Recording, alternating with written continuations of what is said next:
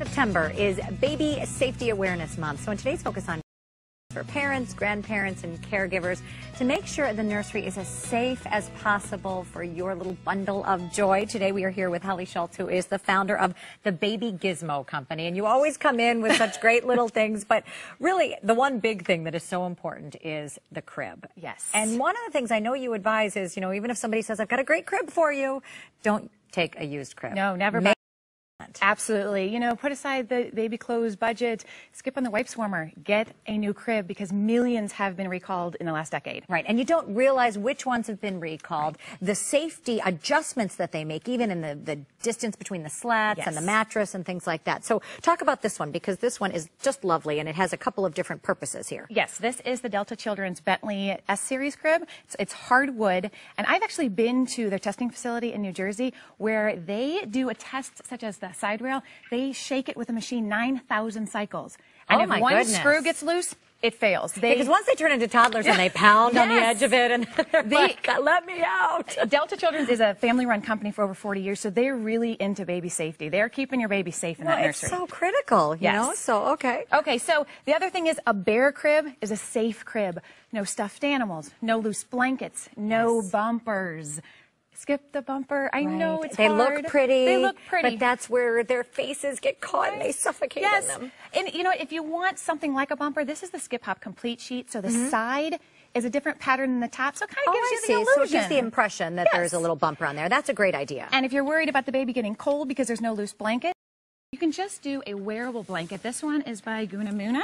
Um, it's Oh, a it's a Gunapod, and they wear it so it's not a suffocation hazard. Right. Yeah. So let's talk about They this mattress. I'm inside going to it. give you Okay. a baby. Oh, I get the baby. If only if it were a real one. I'm so wow. It feels like a real one. It's a heavy baby. 15 pounds. so I'm going to pull this out. This is the Moonlight Slumber Starlight Support Supreme mattress. And usually mattresses are an afterthought. Mm-hmm. It's all foam, really lightweight, so you can easy to change it. It is waterproof, but what is great, it's anti it's antimicrobial. Oh, nice. It's hypoallergenic. Okay, perfect. The seams are sealed ultrasonically. So that the creepies can't get in there.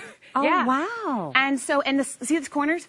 It has squared corners because you know what? Most cribs have squared corners. Right. So it fits perfectly. So they fit and there's Yes. no. So that's Moonlight Slumber. Um, really, really great mattress. Okay, So we we're going to put the mattress back. Yes. We're going to it's put the baby back to bed, and we're going to move on to the dresser because something that's so critical with the dresser is securing it to Yes. the wall. Again, safety. You want to, and you want to keep doing safety checks. Even Mm-hmm. though the company's doing them, you want to make sure once a month you are checking the slats, the joints, everything, and the supports to make sure the crib is still safe. Right. And with the dressers, you want to anchor them to the wall. Um, Absolutely. because the toddlers and your baby's going to be a toddler really, really quick. They pull out the drawers, climb it like a ladder. I had three boys. They were all and over the, the, whole place. Thing could squish them.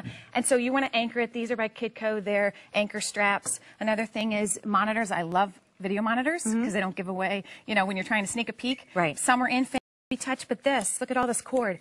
This can't be anywhere near your baby because they have those octopus arms. It's a strangulation hazard. Just make sure. I know you've got other items, and we're going to have to look at those on the webpage because Yeah. we've sort of run out of time here. But we talked about the really critical things in terms of keeping them safe and alive and healthy and thriving. So thank you so much. welcome. And we'll put the other items on our website. For more tips, you can visit babygizmo.com or we'll have a link on our webpage, wgntv.com slash midday.